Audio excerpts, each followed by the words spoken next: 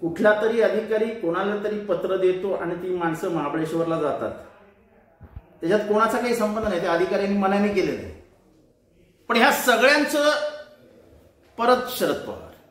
म्हणजे पवार साहेबांच्या नाव घेतल्याशिवाय आपलं दुकान चालणार नाही हे बीजेपीच्या नेतृत्वाला माहिती आहे. याच्यात पवार साहेबांचा काय संबंध? गेले पन्नास वर्ष तुम्ही हेच करता. अहो कौतुक ह्या गोष्टीचं करा की हे पत्र बाहेर आलं पत्र जसं अनिल देशमुखांकडे गेलं सीएम साहेबांकडे गेलं दोघांनी चर्चा करून रात्री बारा वाजता जेव्हा तुम्ही झोपलेले होते तेव्हा त्याला रजेवर पाठवले त्या अधिकाऱ्याला. हे इतकं सक्षम शासन आहे. आणि ते शरद पवारांच्या नेतृत्वाखाली आहे. आमचे सीएम साहेब ते आहेत पण आमचे भीष्माचार्य पवार साहेब ते असले फालतू लढ आम्ही करत नाही कोणाला आता दुसरी गोष्ट मी तुम्हाला विचारतो. की केंद्राचं काल एक पत्र बाहेर आलंय की आमच्या परवानगीशी तुम्ही पीपी किट घ्यायचे नाहीत मास्क घ्यायचे नाहीत कुठल्याही मेडिकलचं सामान घ्यायचं नाही. लोक मरतायत. पीपी किट नाही म्हणून लोक ओरडतायत. चतुर्दशीनी काम करणार नाहीत असं सांगतायत.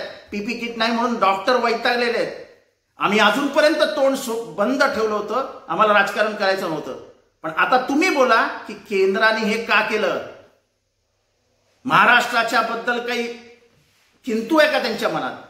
किंवा ताबडतोब हे सर्क्युलर मागं घ्या. असं बीजेपी आज पत्रकार परिषद घेईल का? आमचा सामान आम्हाला आणू द्या. आमच्या डॉक्टरशी आम्हाला काळजी आहे.